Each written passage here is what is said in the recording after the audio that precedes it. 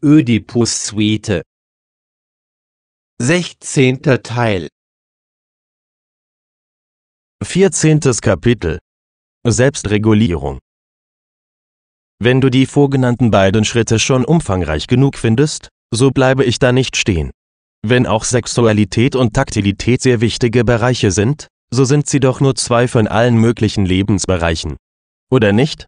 Wenn sie auch sozusagen hineinstrahlen in alle anderen Lebensbereiche, so ist es doch eine Tatsache, dass wir zwei Drittel des Lebens im Schlaf verbringen und 80 Prozent der verbleibenden Zeit mit Arbeit.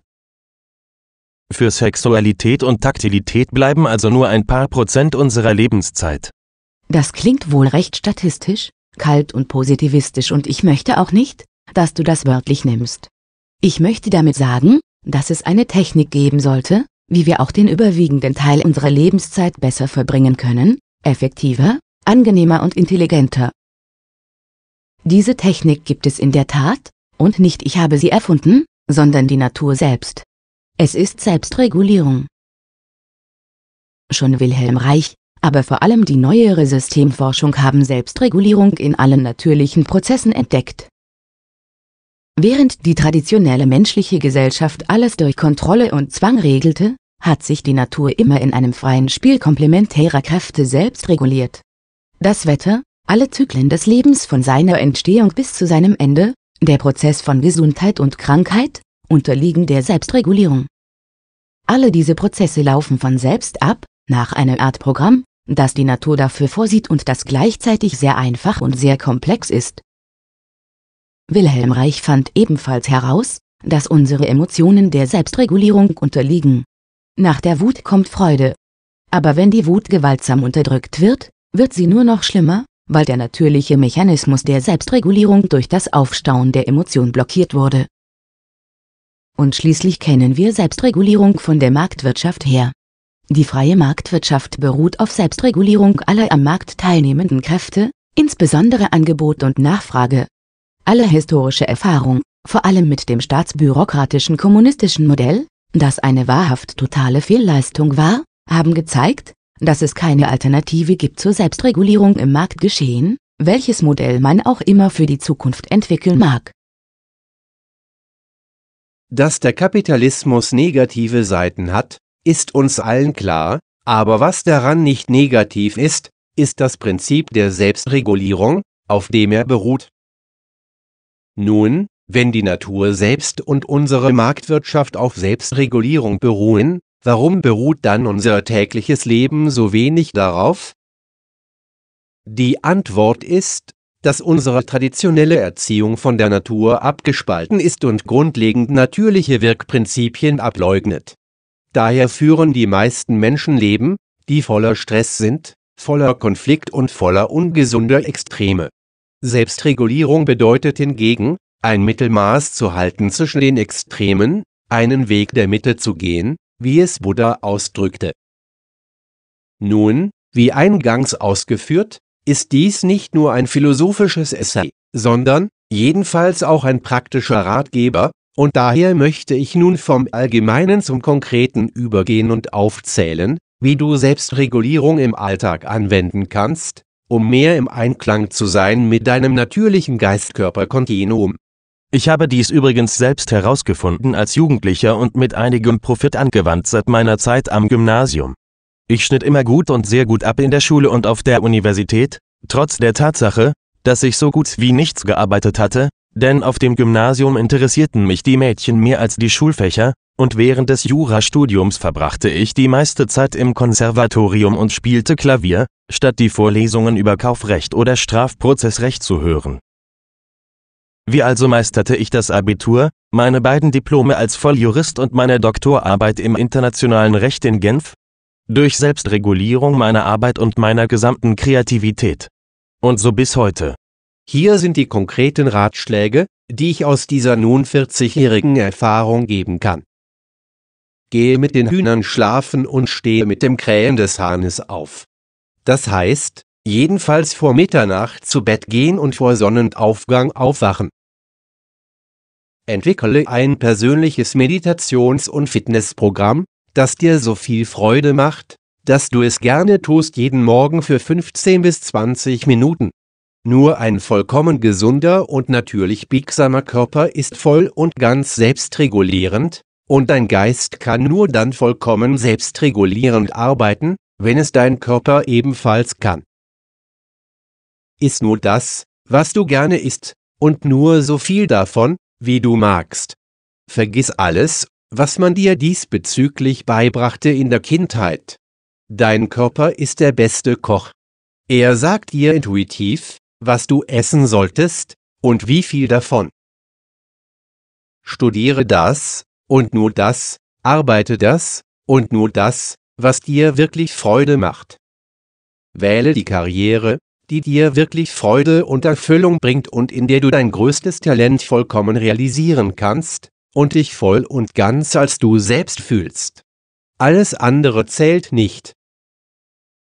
Arbeite nur an dem, was dich im Moment fesselt und motiviert, und nur dann, wenn du Lust hast. Arbeite nur so lange, als dich die Arbeit ganz erfüllt und solange du damit voll konzentriert bist und die Arbeit dich voll und ganz absorbiert. Wenn deine Konzentration und Motivation abnehmen, wechsele zu einem anderen Projekt über, das dich dann ganz und gar erfüllt. Arbeite an all deinen Projekten gleichzeitig, nicht sequenziell. Wenn die Arbeit an einem Projekt keine Freude mehr macht, arbeite an dem weiter, wonach dir der Sinn steht. So arbeitest du immer effektiv und optimal und tust immer das, was dir Freude macht. Wenn ein Termin zur Vorlage einer Arbeit aussteht, habe keine Angst und vertraue auf deine Inspiration. Du wirst rechtzeitig den inneren Anstoß bekommen, das dafür zu arbeiten, was wirklich notwendig ist, und wenn es nur einen Tag vor dem Termin ist. Über 80 Prozent dessen, was die meisten Leute für Prüfungen lernen, ist ewig für die Katz. Lerne, diagonal zu denken und zu arbeiten, und immer mindestens vier Tätigkeiten zur gleichen Zeit zu tun. Einfaches Beispiel. Heute Morgen schreibe ich dieses Essay fertig, gleichzeitig lese ich zwei Fachbücher, studiere die dritte Händel-Suite auf dem Klavier und bringe Ordnung in meine CD-Sammlung. Entwickle einen Sinn für Effektivität in allem, was du tust, und sei es die banalste Sache, wie Zimmer auskehren, Geschirr spülen, Toilette putzen, Keller aufräumen oder Müll bündeln und wegbringen, und tue alles, was du tust, so gut wie du es nur irgend kannst, und mit Freude. Wenn es dir lästig ist, höre sofort damit auf und tue etwas anderes. Klage über nichts. Keine Arbeit ist dumm oder lästig, denn bei allem lernen wir. Was ist eigentlich wirklich Effektivität? Es ist ganz einfach angewandte Selbstregulierung. Bringe Seele in alles, was du tust. Das bedeutet, dass du Freude empfindest, wenn du so handelst. Es heißt darüber hinaus, dass du ein Gefühl bekommst für die vitale Energie, die in dir strömt und dich umgibt. Wenn du beginnst sie zu spüren, wirst du feststellen, dass wenn du mit Seele handelst, die Energie in dir und um dich herum viel höher ist. Dein Körper ist dann typischerweise durchflutet von warmer Energie und fühlt sich sehr lebendig an.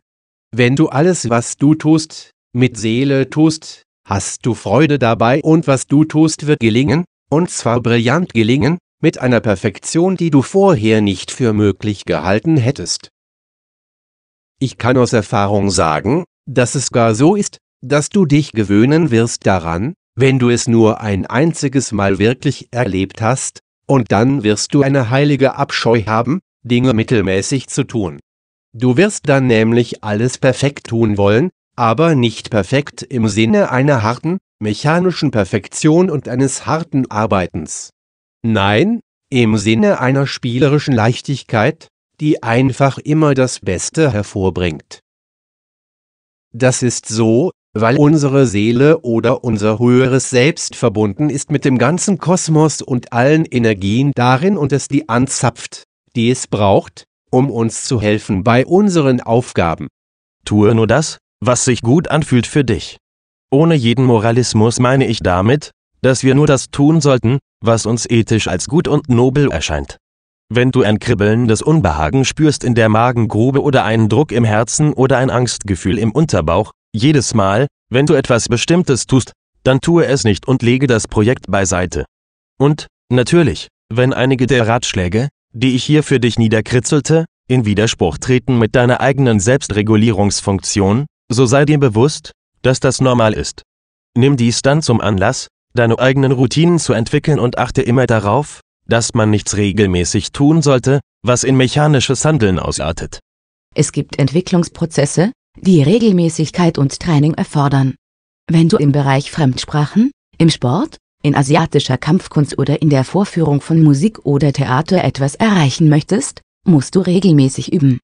Aber auch dafür gilt, was ich vorher sagte, wenn du dieses Üben mit Seele tust, wirst du weniger Übungsstunden brauchen, und das Endresultat wird besser sein als bloß mittelmäßig.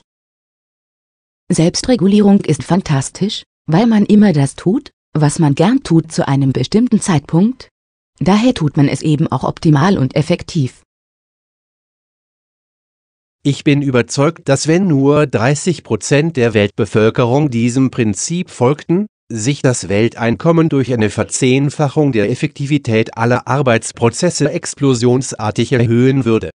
Darüber hinaus wurde sich ergeben, dass die meisten Menschen weitaus glücklicher und friedlicher wären, und damit wäre dem Weltfrieden dann auch gedient. Bis heute ist es nur in einigen wenigen Berufen möglich, selbstregulierend zu arbeiten, wie zum Beispiel als freischaffender Künstler oder als Schriftsteller, und das ist so, weil unsere Volkswirtschaft zwar begriffen hat, dass der Markt Selbstregulierung braucht, nicht aber, dass die am Markt Beteiligten dasselbe benötigen